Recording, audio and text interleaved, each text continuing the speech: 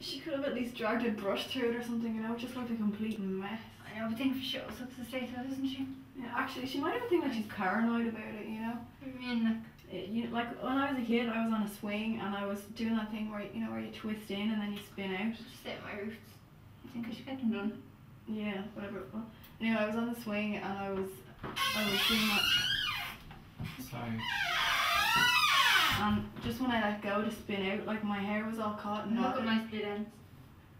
Yeah, my hair was all. Sorry, sorry, It was like knotted and I was hanging by my hair Mm, and yeah. I, I had to be cut out of the swing and I'm like Oh, traumatized. yeah, yeah. Traumatized by you know.